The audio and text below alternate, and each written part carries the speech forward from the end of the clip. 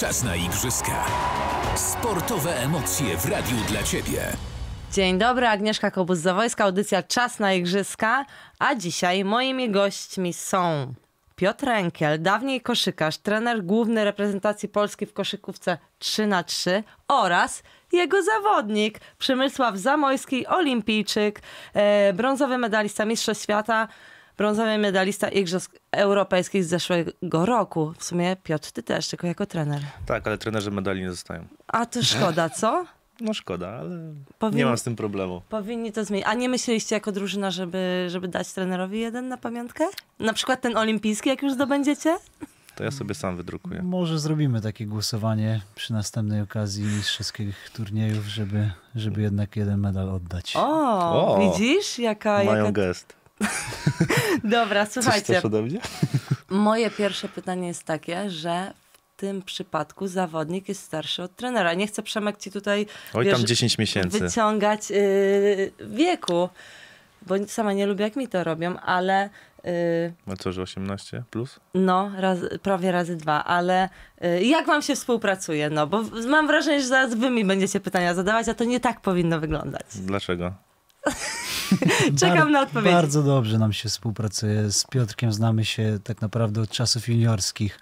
Gdzieś tam nasze drogi się przecinały, kiedy byliśmy młodymi zawodnikami. Piotr grał w Gdańsku, ja grałem jeszcze w rodzinnym Elblągu i zawsze rywalizowaliśmy na tym właśnie szczeblu juniorskim. O. Później gdzieś tam się po drodze zakumplowaliśmy w Trójmieście i w wakacje zawsze mieliśmy okazję rywalizować, posparować razem na, na właśnie na boiskach i tak, tak gdzieś nasza przyjaźń się rozpoczęła. Czyli mogę powiedzieć, że y, trener, zawodnik i jeszcze przyjaciel? Można, można tak to ująć. No, Zaraz spytam trenera, najpierw, najpierw zawodnik. Znamy dużo swoich e, jakby historii życiowych, więc myślę, że, że można to nazwać przyjaźnią, która jest połączona też powiedzmy, że służbowo, ale myślę, że to też jest jakby takim fajnym dodatkiem do tego wszystkiego, bo dużo lepiej się rozumiemy. Też e, Przemek jest kapitanem naszej drużyny, także jest jakby przedłużeniem tej myśli. Większość e, rzeczy, które ja proponuję, to też zawsze przegaduję z zawodnikami, bo to oni mają się czuć swobodnie na boisku. Ja nie mam wpływu na to, co oni zrobią na boisku, mogę ich tylko przygotować przed. I, też wiem, że doświadczenie, które Przemek zdobył na, na parkietach ekstraklasy przez, przez tyle lat, e, też jakby jest tym, tą wartością dodaną dla naszej całej drużyny.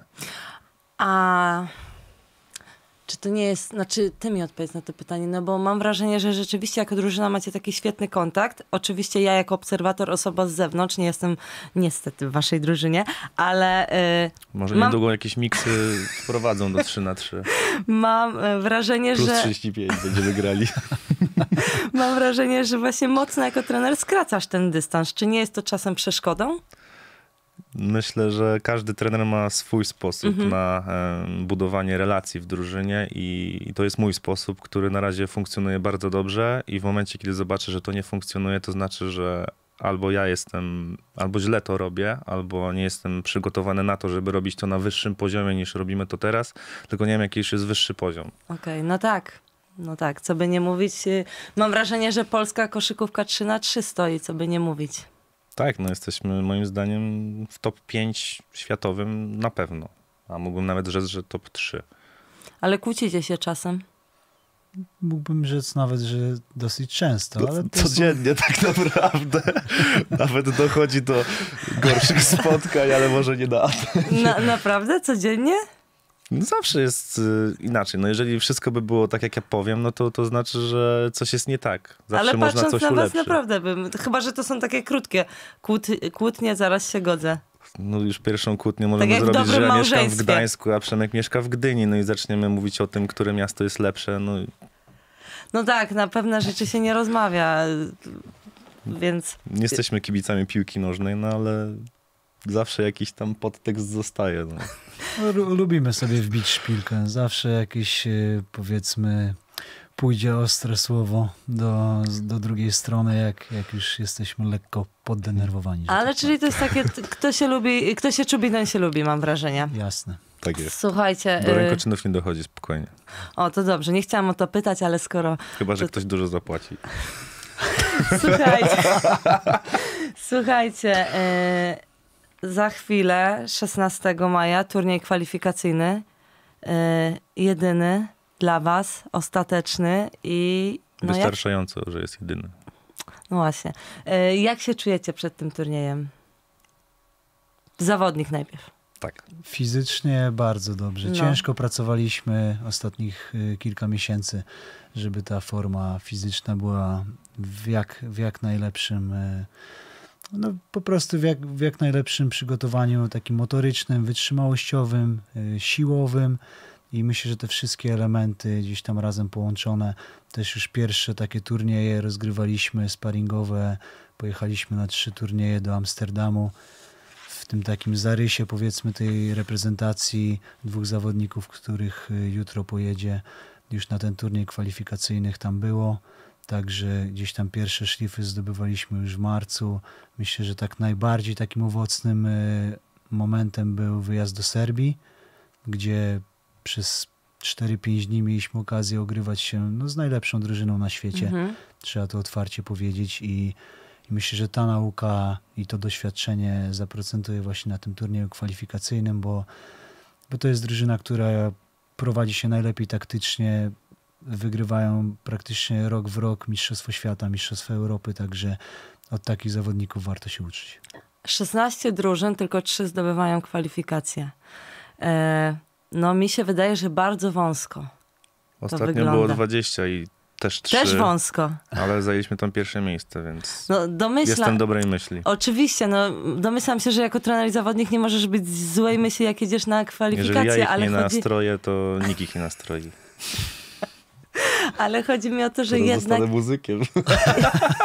jednak y, Przemek Piotr, jest to coś takiego, że no zaraz się dowiecie, no takie być albo nie być, no chyba są jakieś emocje w tym wszystkim. Są, ale myślę, że jesteśmy już na tyle doświadczonymi. Mhm. No ja w przypadku jakby trenera, a zawodnicy też, y, specjalnie też dobrałem zawodników, którzy mają już ten bagaż doświadczeń z koszykówki 5 na 5 bardzo duży, a Przemek i Adrian z koszykówki 3 na 3 również bardzo duży, bo trzeba też przypomnieć, że Adrian jest mistrzem świata w kategorii U23. Adrian E, Bogucki, Adrian żeby Bogucki, każdy tak, wiedział. żeby każdy wiedział, nasz, nasz najwyższy zawodnik, który ma 215 cm i chyba ostatnio jak sprawdzałem jest najwyższym, na pewno w top 100 zawodników jest najwyższym zawodnikiem na całym świecie, jeżeli chodzi o koszykówkę 3 na 3 Jedzie też, y, jest w waszej drużynie, przepraszam, Michał Sokołowski. No kapitalna postać, jeżeli chodzi o koszykówkę 5 na 5. Y, Dlaczego on, a nie na przykład ktoś, kto ma doświadczenie w 3 na 3 bo wiem, że on nie pęknie. I Okej. jak będzie mecz o bilet, a jak patrząc dalej, mecz o medal, to wiem, że to nie będzie dla niego aż taka presja, jaka może być dla zawodnika, który jest z większym doświadczeniem w Mhm. 3 na 3 ale może właśnie y, mniejszym bagażem doświadczeń, jeżeli chodzi o imprezy rangi mistrzowskiej, bądź gra o najwyższe cele. Czyli trochę y, czytałam, że niektórzy mówią, że to jest takie trochę ryzyko, a wbrew pozorom mam wrażenie, że to nie jest ryzyko, no bo podczas tych rozgrywek najważniejszy jest ten mindset u was, gdzie wszystko się dzieje tak naprawdę na ostatnich sekundach. Myślę, że profil y, Michała Sokołowskiego idealnie się wpisuje w naszą dyscyplinę w koszykówkę 3 na 3 Ja osobiście miałem okazję rozegrać z nim jeden sezon kilka lat temu w Zielonej Górze. Kilka lat również spędziliśmy razem w reprezentacji w tej odmianie klasycznej 5 na 5 Znam go bardzo dobrze. Jest moim naprawdę dobrym kolegą i, i wiem, jaki ma charakter, jaki ma etos pracy i to jest zawodnik, graliśmy na tej samej pozycji, więc y, przez rok codziennie się obijaliśmy na treningach. Y, Czyli znasz się podobnie z nim jak z trenerem? Czy nie aż tak? można My się nie nawet, obijamy codziennie. Można nawet rzec, że, że większy kontakt był y, między, między mną i, i Bezpośredni. Michałem. Tak, Bezpośredni i tam naprawdę wióry leciały na każdym Mhm. treningu i ja wiem, że Michał nigdy nie narzekał, kiedy go faulowano. Ma po prostu idealny profil do, do tej odmiany y, koszykówki. No i też jego mindset jest taki, że jak e, rozmawiam z nim przez telefon, czy, e, czy chce do nas dołączyć, on odpowiada tak z wielką chęcią i Mhm. jedziemy tam. Ja mówię, a ty znasz w ogóle zasady? Powiedział mi wszystkie zasady, bo jednak się interesuje koszykówką. Jeżeli się interesuje ktoś koszykówką, no to też interesuje się 3 na 3 Jakby to jest naturalne. Więc wszystkie zasady znał i mówi, no ale No ale po co ja mam znać te zasady? Przecież chodzi o to, żeby wygrać mecz. Więc jak ma ktoś taki mindset, no to w ciemno chce wziąć takiego zawodnika, bo on wie po co tam jedzie, wie jaki jest cel, wie o co gramy, a przy okazji nie nakłada, się na, nie nakłada na siebie tej dodatkowej presji, Mhm. którą może ta cała otoczka sprawić, tak? Czy te media i, Tak. i właśnie tak jak mówisz, artykuły, czy ten skład, czy tamten. Ja się bardzo cieszę, że w tym sezonie mamy wybór naprawdę 12 równorzędnych praktycznie zawodników, no tylko każdy ma jeszcze jakieś elementy, które albo doświadczenie, albo jeszcze ogranie na turniejach najwyższej rangi, no bądź e, umiejętności koszykarskie lub e, przygotowanie motoryczne, bo to jest e, bardzo ważne, a sama dobrze o tym wiesz, jak, jak się trenuje przez 300, ponad 300 dni w roku, żeby wystartować na, na, na jednej imprezie, a tak naprawdę wy się przygotowujecie, macie cały BPS przygotowany pod igrzyska, więc to jest czteroletni plan. To prawda. Yy, Słuchaj, Piotr, to teraz mam takie pytanie. Jak byś opisał jednym słowem każdego ze swoich zawodników, którzy jadą na turniej kwalifikacyjny? Tak ci powiem dla przykładu, że na przykład nas trener kiedyś opisał chaos, pozytywna, matka Teresa, takie w ogóle były, wiesz, rzucone hasła. Więc teraz mam takie zadania ja, dla ciebie. Ja chętnie właśnie tego posłucham sobie.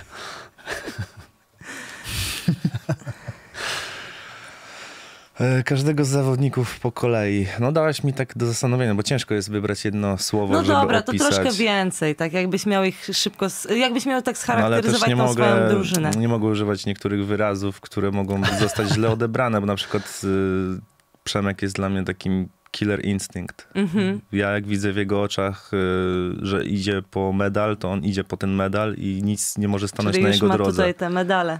No, spójrz mu w oczy, to zobaczysz. Dobra, dalej. Dalej, kogo mamy dalej? Michał Sokołowski. No to jest y, jakby najnowszy zawodnik w naszej, naszej drużynie. Cały czas go poznaję każdego dnia. Opisałbym go jako żołnierza. Mhm. To jest taka osoba, która przyjdzie, dostanie zadanie, wykona je i wróci do domu. A ty dasz zadanie, wygraj ten turniej. Dokładnie. Super.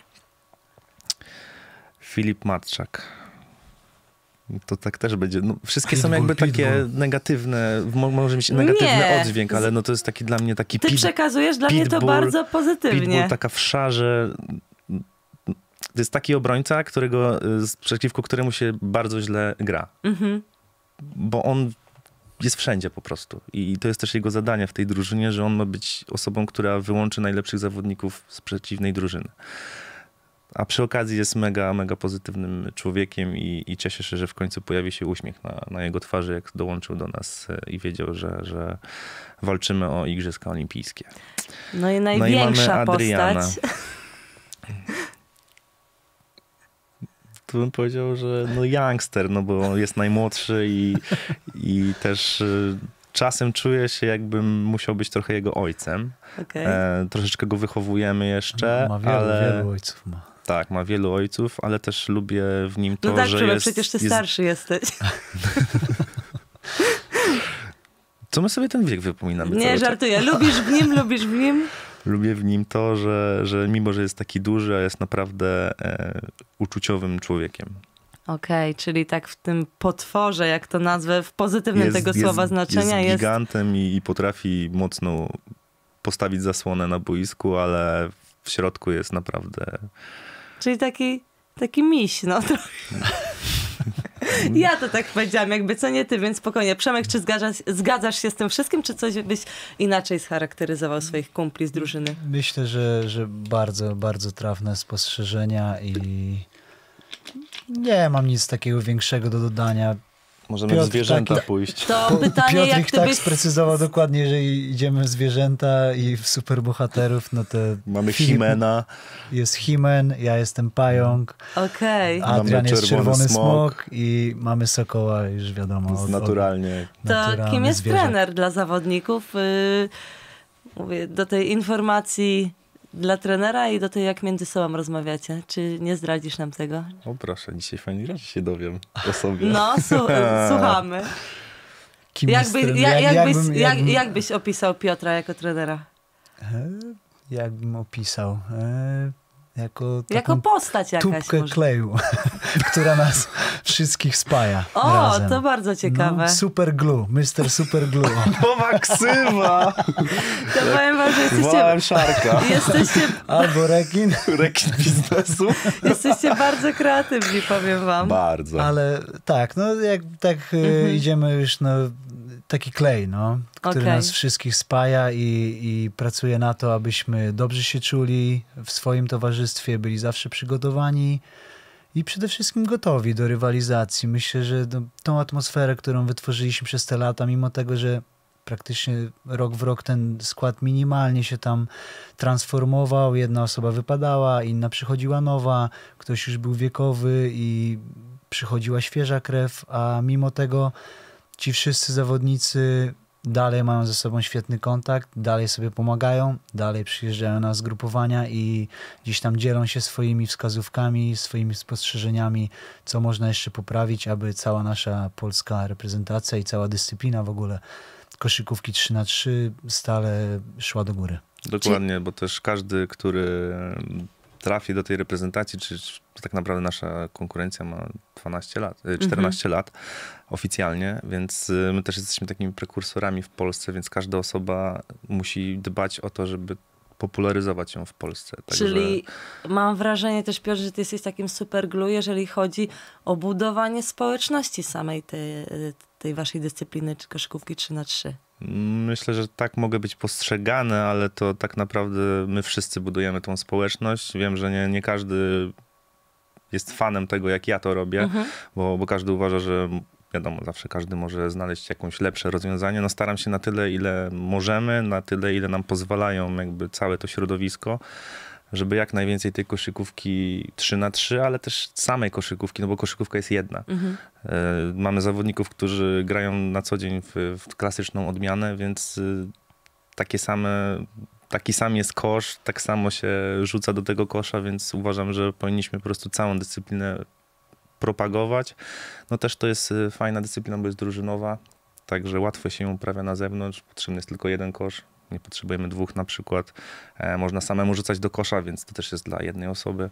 Także no wiem, że to jest trudne, tak? No bo nie dość, że musimy biegać, to jeszcze musimy rękoma rzucać, tak? Ale nic w życiu nie jest łatwe, jak chce się robić. Oczywiście, jak wsiadłem do wiosła, to też nie było łatwo. Szczególnie dłonie były bardzo Jak ja grałam z wami na Białołęce w koszykówkę, też nie byłam najlepsza, umówmy No się, tyle tam ale... cukroków zrobiłaś, to więcej niż ja na parkiecie. Dobrze, to teraz słuchajcie. Ale, jeszcze- ale trafiałaś do kosza, więc to, Czasami. To jest najważniejsze. to jest najważniejsze i to sprawia najwięcej radości, szczególnie dzieciom, bo, bo to przecież przede wszystkim chodzi, żeby o właśnie, tak jak się uśmiechnęłaś, Każdy żeby... ma w sobie dziecko, umówmy się. Tak, Adrian największe nasze dziecko. I tym oto miłym akcentem zakończymy pierwszą część au- audycji i zapraszamy po wiadomościach. Agnieszka Kobus-Zawojska, druga część audycji Czas na Igrzyska. Moimi gośćmi nadal jest tutaj e, super drużyna koszykarska, bo drużyna to też trener, nie oszukujmy się, więc Piotr Enkiel, Przemek Zamojski. Tak, team. I pytanie e, pierwsze jest takie. Faza grupowa wasza na tym turnieju kwalifikacyjnym to jest Belgia, Mongolia, Japonia. Jak oceniacie tych grupowych rywali? Bardzo się cieszę, że mamy w grupie Belgów, ponieważ system jest tak, e, tak wygląda drabinka później, że z Belgami moglibyśmy spotkać się dopiero w finale turnieju, a skoro, skoro wychodzą trzy drużyny, finał się nie rozgrywa. Więc tak naprawdę spotkamy się z nimi w grupie i później już nie będziemy e, rywalizować z nimi, a to jest moim zdaniem jedna z najmocniejszych drużyn obecnie z tego turnieju. Cieszę się, że mamy dwie drużyny z Azji, bo wiemy, że to są drużyny, z którymi przeważnie wygrywamy. Także nie liczę na inny wynik niż wyjście z grupy, a później zobaczymy, co się wydarzy, bo tak naprawdę mecz ćwierćfinałowy jest tutaj kluczowy. Tak, finał to już jest chyba. No nie ma Z finału, jednej więc- strony grasz o zwycięstwo, ale z drugiej strony nie masz ciśnienia, bo już macie tą przepustkę wtedy na igrzyska, prawda? Dokładnie, więc no, ale tego finału się nie rozgrywa, jest tylko mecz o trzecie Okej. miejsce, więc wy, zwycięzca z półfinału od razu Mhm. już się cieszy, dostaje bilet i można iść świętować. widzisz? I moja, moja tutaj koszykarska wtyka też mi tego nie powiedziała. O, trzeba było do takie nas zadzwonić. tajniki, trzeba było się zagłębić naprawdę w te zasady, jak turnieje są Są rozgrywane. bardzo skomplikowane. A ty, Przemek? Z oczami zawodnika? Ja, ja również jestem bardzo zadowolony z tej grupy. Z Japonią wydaje mi się, że w, w całej historii tych wszystkich naszych spotkań, raz chyba na moim pierwszym turnieju, na którym debiutowałem na Mistrzostwach Świata, przegraliśmy wtedy chyba w grupie. Tak, przegraliśmy, ale już mieliśmy zapewnione pierwsze Ale miejsce mieliśmy- w grupie, więc Tak. ten mecz taki był troszeczkę Także to jest, na, słabszy. to jest na pewno rywal. Treningowy. Tak, no też trafili dużo, dużo razy za dwa punkty w tamtym meczu, więc ciężko było wrócić. To jest na pewno rywal, który nam bardzo pasuje. Myślę, że w tym zestawieniu, które mamy, śmiało stwierdzę, że mamy naj, najmocniejszą fizycznie y, czwórkę na, na tym turnieju kwalifikacyjnym z wszystkich y, reprezentacji. Może Litw, Litwa ewentualnie gdzieś tam z nami konkurować w tym kontekście, ale no Japończycy to jest szybki styl grania, dużo biegania. To nam też odpowiada. Mamy, mamy zawodników, którzy za nimi na pewno nadążą. Belgowie, No mając takich super bohaterów w drużynie, to... Na pewno jesteśmy od nich wyżsi. tak, Belgowie na pewno grają dużo bez piłki, dobrze się poruszają, mają dobry system swojego grania i, i gdzieś tam są zawsze na bardzo groźną drużyną. A co jest waszym takim asem w rękawie? A, mamy kilka asów. No to, to jest właśnie to jest właśnie e, siła tej drużyny, że w każdym meczu inny zawodnik może być liderem punktowym Mhm. i cały czas to też tłumaczy. Nam nie zależy na tym, żeby jeden zawodnik zdobywał najwięcej punktów, tak jak tam mamy w NBA czy w koszykówce 5 na 5, że jeden jest lider, który zdobędzie zawsze ileś tam punktów i na niego się gra. Tutaj gramy, taktykę dostosowujemy pod przeciwnika. Czyli jak będziemy grali z zawodnikami z Japonii, to wiemy, że Adrian Bogucki będzie miał największą przewagę. No tak. Więc będziemy starali się, no niech mogą Japończycy to oglądać, tak? Czy tam y, sobie przeczytać, no to jest logiczne, że będziemy tak grać, ale dzięki temu on też później da miejsce zawodnikom na obwodzie, którzy będą mieli dużo więcej miejsca, żeby albo rzucać za dwa, albo łatwo mijać pod kosz. Także zawsze dostosowujemy tą taktykę pod przeciwnika i też skład jest dobierany pod przeciwników, z którymi będziemy się mierzyć. Musimy mieć odpowiedź na na przykład Serbowie obecnie są mistrzami świata, to budując drużynę, wiem, że muszę mieć odpowiedź albo lepszego zawodnika na tego Serba, na tego, Mhm. tego i następnego. Ile czasu przed turniejem podajesz skład?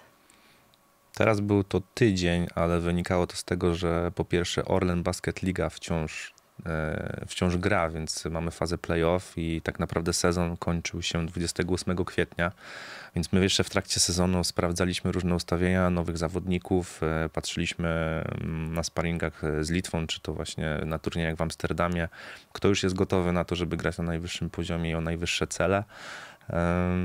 I tak naprawdę ta wyselekcjonowana jest y, najlepsza, którą obecnie uważam, że jest najlepsza i najbardziej optymalna, która da nam to, co chcemy osiągnąć. Wracając do tego, e, ile czasu, no to był tydzień, bo w Serbii zobaczyłem, że Filip Matczak bardzo szybko chłonie koszykówkę 3 na 3 i tak jak Przemek powiedział, byliśmy tam 5 dni, przez 3 dni graliśmy przeciwko Serbom i to zgrupowanie miało większą wartość niż na przykład kilka miesięcy zgrupowania i grania między sobą w Polsce. Mhm. Aż chłopaki sami powiedzieli, na przykład Filip podpowiedział, o kurde, ja się tu nauczyłem więcej niż przez cały poprzedni rok w 3 na 3 Bo jeździliśmy na turnieje, oni akurat jeździli w Czechach, bo akurat to też jest tak, że musimy się dostosować do tego, gdzie są turnieje. To nie jest tak, że my możemy na każdy turniej pojechać. E, Jest to taki system rankingowy i no, dużo do tłumaczenia, także e, też wracając do tych dat, no, 28 kwietnia kończył się e, faza regularna Orlen Basket Ligi. 29 kwietnia Michał Sokołowski grał swój mecz. W, to była przedostatnia kolejka i akurat przegrali ten mecz i już wiedziałem w tamtym momencie, że on zakończy sezon 5 Mhm. maja. No i wtedy już wykonałem telefon, e, zapytać się, czy dalej jest zainteresowany, bo już rozmawialiśmy w zeszłym roku, miał nas zagrać na Igrzyskach Europejskich, e, ale nie doszło do tego ostatecznie. Więc ponowiłem kontakt, że tak powiem, i, i zapytałem się, czy, czy teraz jest gotowy, żeby, żeby pojechać i ja zaryzykuję, żeby on pojechał mimo braku tego doświadczenia. Wczoraj graliśmy turniej na tu, przedwczoraj graliśmy turniej na Ale Torwarze. koszykówka jest jedna. I koszykówka jest jedna, tak samo trzeba trafić do kosza. Słuchaj, y, to mnie zastanawia, y, czy nie jest trochę tak w tej waszej konkurencji, że mm, jeszcze nie jest ona tak usystematyzowana na zasadzie, że trochę możesz sobie pozwolić właśnie na e, wybór tutaj zawodników. Czy myślicie, że później będzie tak, że będzie trzeba się tak e, zdeklarować, że ja gram w 3 na 3, ja w 5 na 5, bo teraz trochę jest takie balansowanie tymi zawodnikami. Czy... Niech Przemek odpowie, bo No, on jest dobrym Przemek przykładem. wiem, że ty się zdeklarowałeś, że grasz w 3 na 3, dziękuję, do widzenia. Ale jednak y, No jest to na pewno wymagające.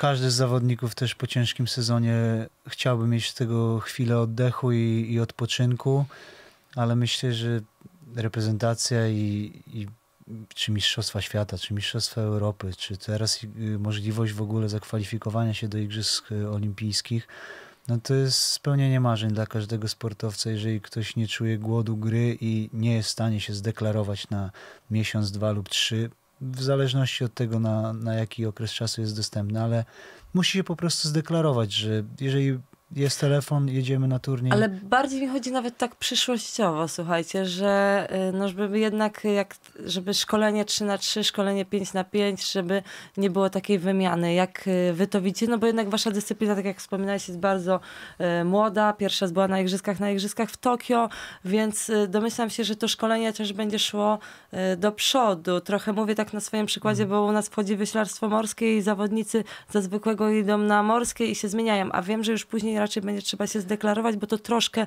jednak inne dyscypliny. Niby tu i tu się wiosuje, ale jednak czymś się różni. Jak to wygląda u was? My jesteśmy dopiero w procesie budowania tej, tej następnej generacji, tego następnego pokolenia zawodników. Y, Na pewno będzie tak, że, że będzie indywidualny tok szkolenia koszykarzy 3 na 3 i tak samo dla koszykarzy 5 na 5.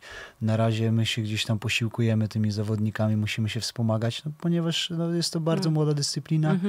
I jakby no, zna- naturalna kolej rzeczy, że nie mamy z czego wybierać, musimy dopiero wyhodować tych, tych koszykarzy i, i dopiero później będziemy mogli myśleć zupełnie o odrębnym e, szczeblu działania. A czy młodzi zawodnicy czasem mówią, że od razu chcą iść w koszykówkę 3 na 3 czy jeszcze no, to jest tak raczkujące, że zaczyna, zaczynają zazwyczaj od tej tradycyjnej odmiany? Zdarza się tak, jednak no, weryfikuje później życie, bo jednak trzeba gdzieś zarabiać pieniądze. Mhm. Więc jeżeli e, no, zawodnik zostanie zweryfikowany w tym 3 na 3 że on jednak tam nie zarobi pieniędzy, to jednak wraca gdzieś do tej koszykówki 5 na 5 no bo albo musi utrzymać rodzinę, albo musi pójść do normalnej w ogóle pracy. Ale jest dużo młodych w ogóle zawodników w takim wieku około 15 lat, którzy mówią, a koszykówka 5 na 5 mi się już nie podoba, bo tam trener każe mi to, to i to. A w koszykówce 3 na 3 tak naprawdę drużynę można stworzyć bez trenera.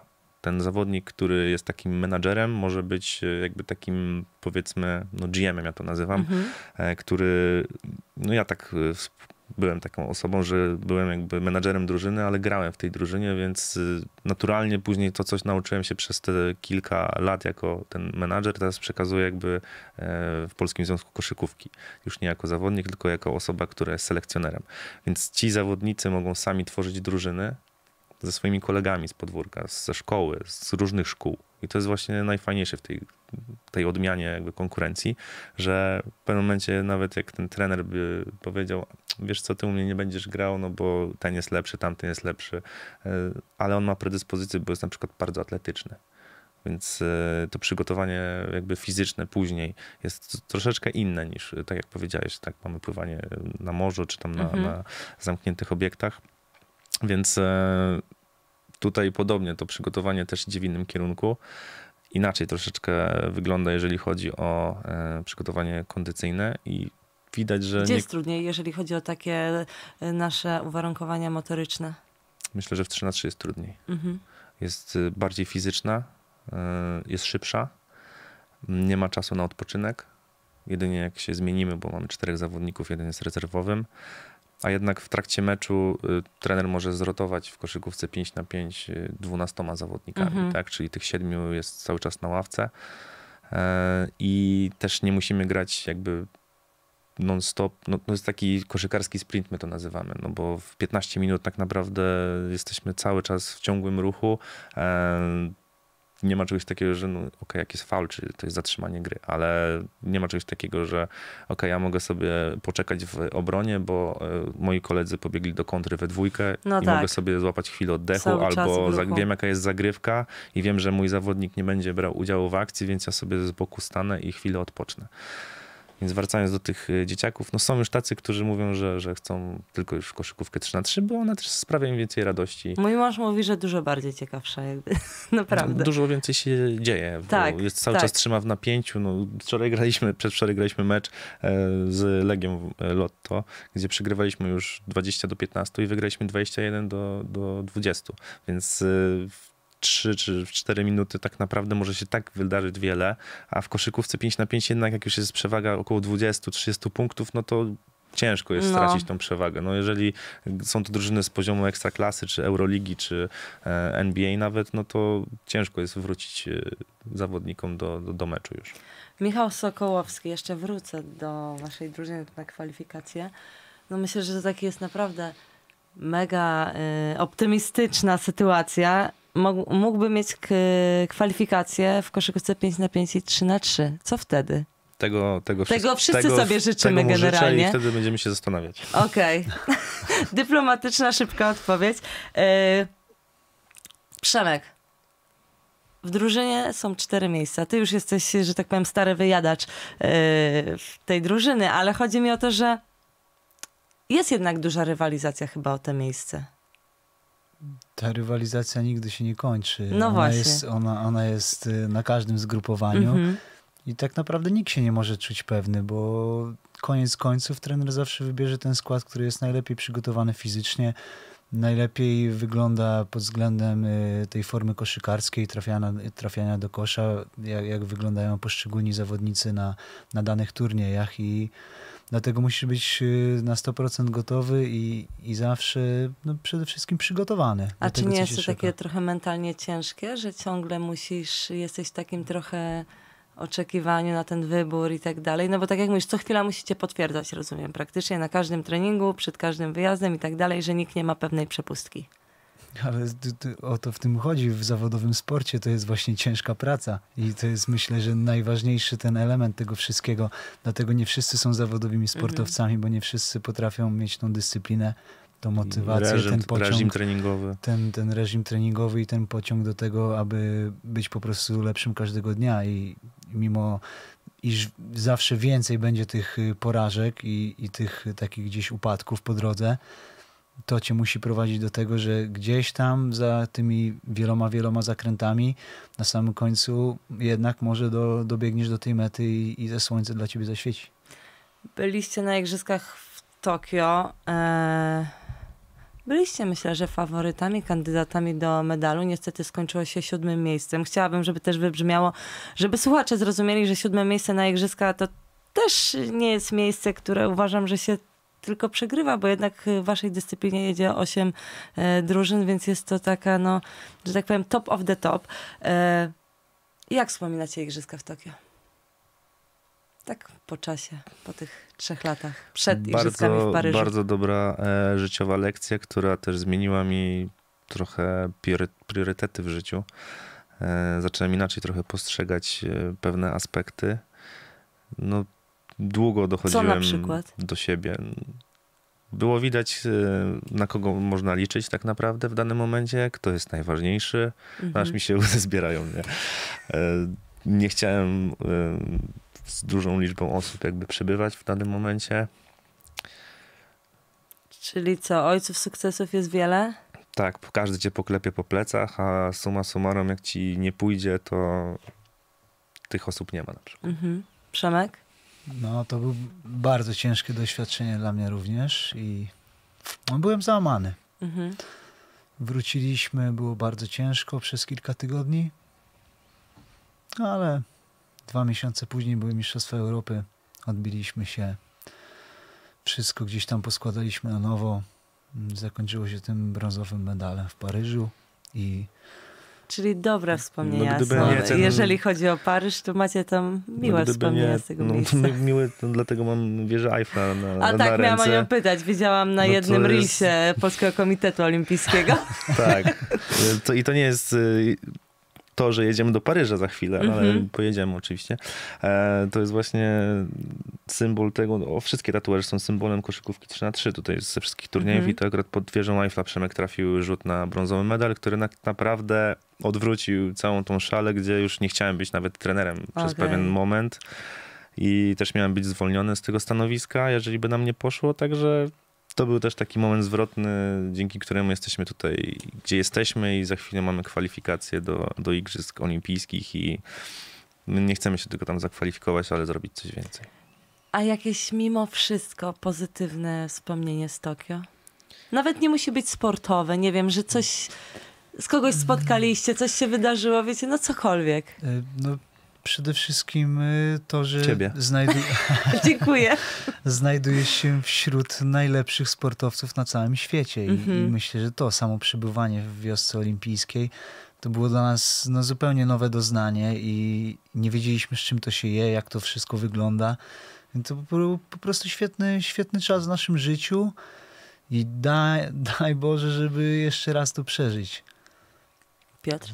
No, dołączę do słów, które Przemek przed chwilą powiedział, że wejście na stołówkę i nie wiem, i siedzi przede mną e, Nowak Djokovic. Ja nie wiem, czy on do niego podbiec i wziąć od niego autograf, a z drugiej strony myślę, no przecież jestem takim samym olimpijczykiem jak on. I taka była bitwa, no ale na koniec już Wziąłeś? nie, nie wytrzymałem, nie, nie wziąłem. już drugi raz go nie spotkałem, ale jak już wiedzieliśmy, że odpadliśmy z rywalizacji, wiedziałem, że, że za chwilę musimy wsiadać do samolotu, na ostatniej kolacji e, spotkałem reprezentację koszykarską e, Hiszpanów, więc Mhm. e, wiedziałem, że bracia Gasol będą kończyć niedługo karierę, więc z nimi sobie zrobiłem selfie, także to było takie moje dwa Pokemony, które zebrałem na, na igrzyska. A ty, Przemek, zebrałeś jakiegoś Pokemona? Ja też, ja też braci Gasol upolowałem. E, Jakby wcześniej z nimi też rywalizowałem w tej tradycyjnej odmianie w reprezentacji. Gdzieś tam e, przecinaliśmy się na, na różnych mistrzostwach Europy i, i miałem okazję, ale przede wszystkim sam ten czas w ogóle, że, że mogliśmy spędzić z tymi wszystkimi świetnymi sportowcami, najlepszymi na świecie. Tych, tych kilka dni to było przepiękne uczucie i, i, i za nic bym tego nie zamienił. Nawet, że nie było wyniku. Dla was... No ale jeżeli- też sama wiesz, jak wygląda rodzina olimpijska. No, to są, jesteśmy z różnych dyscyplin, ale Mhm. mieszkamy w tym samym miejscu, idziemy na tą samą stołówkę, poznajemy się.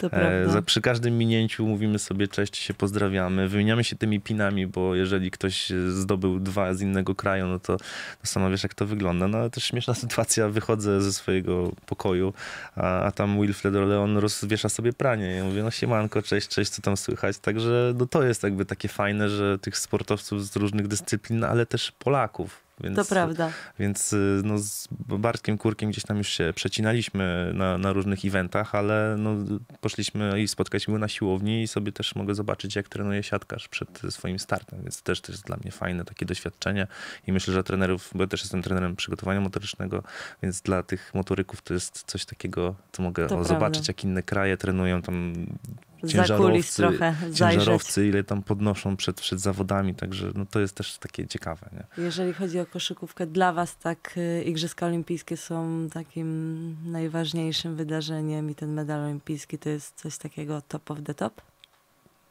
Na pewno tak. Myślę, że to jest największe wyróżnienie dla, dla sportowca w ogóle znaleźć się na Mhm. Igrzyskach Olimpijskich i, i ża- żaden medal Mistrzostw Świata, Mistrzostw Europy nie dał mi tyle frajdy, jak moment w Graz, gdy się dowiedzieliśmy i wygraliśmy z późniejszymi mistrzami olimpijskimi właśnie o ten, o ten bilet, o tą przepustkę na Igrzyska Olimpijskie. To było najpiękniejsze uczucie w moim życiu. Czy ta taka, taka no może gorzkie trochę wspomnienie Tokio, jeżeli chodzi o ten sportowy aspekt, e, myślicie, że zaowocuje teraz na tym turnieju i w Paryżu? Na pewno, tak jak powiedziałem, to było naprawdę bardzo mocne doświadczenie, szczególnie mentalne. Mhm. No ja miałem o tyle łatwiej, że ja tam nie wychodziłem na boisko. I- Ale też wiemy, że ale- czasem trenerom się obrywa dobrze. No, zawsze mi się obrywa, bo to ja wybieram skład. Jak wszystko jest pięknie, to, to No zawodnicy, zawodnicy są szczęśliwi i, i ja też i wtedy mówię, że nawet jak jakieś wywiady są czy coś, mówię, czemu wy rozmawiacie ze mną, to zawodnicy zdobywają te, ten, ten koniec. Na końcu to oni jakby są na boisku, ja im tylko w tym pomagam, więc y, taka jest też rola y, moja, że jak jest porażka, to ja wolę wziąć to na siebie, y, bo zawsze staramy się zbudować nawet z negatywnego e, czy ze, zło, z, złego startu wyciągnąć pozytywne rzeczy, szybko się nauczyć tego, aby nie popełnić tego błędu drugi raz, no bo inteligentni ludzie nie, nie mylą się dwa razy w tej samej kwestii. I jeżeli widzę, że to skutkuje i my idziemy do góry, do przodu. I to daje nam w postaci medalu Mistrzostw Europy jakby sukces, czy, czy to, co chcemy osiągnąć, no to widzę, że idziemy w dobrym kierunku. Więc staramy się budować na porażce, tak jak Przemek powiedział, więcej jest tych porażek niż zwycięstw. Trzeba się z tym jakby pogodzić, a jeżeli jest taka porażka, która ci naprawdę no, powoduje, że jesteś tam na samym dole, no już no mogę powiedzieć, że to była praktycznie depresja, tak? Tylko, Mhm. że niektórzy potrafią sobie z tym samemu poradzić, a niektórzy potrzebują specjalisty. Niektórzy potrzebują czasu, inni mogą z tego nie wyjść, tak? No i to jest y, też, to pokazuje, kto może być tym zawodowym sportowcem, bo jest w stanie utrzymać się na topie przez ileś lat. Jednemu może wyjść raz, tak? Ale zdobądź, pojeść dwa razy na igrzyska. Pojeść na igrzyska, zdobądź medal. Bo być kilka razy na igrzyskach to jest naprawdę w każdym sporcie coś wyjątkowego.